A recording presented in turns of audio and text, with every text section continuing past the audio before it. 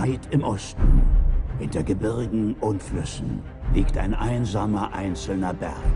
Die Zwerge sind fest entschlossen, ihre Heimat zurückzuerobern. Ich schätze Besuch genauso wie jeder andere Hobbit auch. Doch noch mehr schätze ich es, ihn zu kennen, bevor er mich besucht. Herr Beutlin? Zu Diensten. Ich bin umzingelt von Zwergen. Was wollen die hier? Oh, Sie sind eine ganz muntere Versammlung.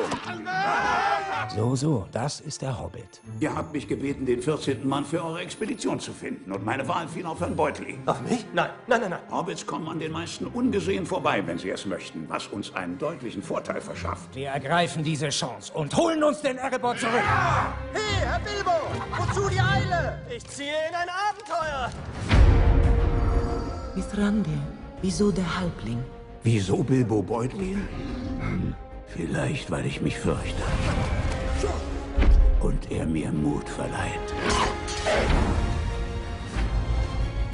Dies also ist euer Ansinnen? Ihr wollt in den Berg eindringen? Und wenn schon. Manch einer würde das nicht für weise erachten.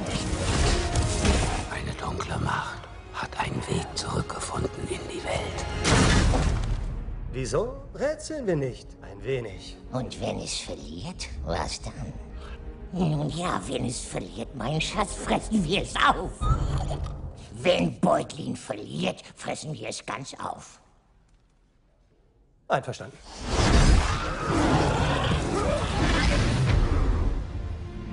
Ich würde jeden einzelnen dieser Zwerge dem mächtigsten Heer vorziehen.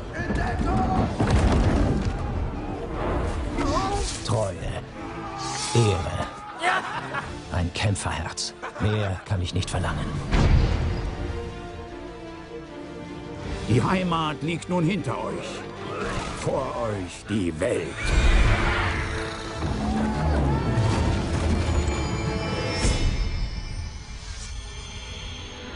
Hat es sich verirrt?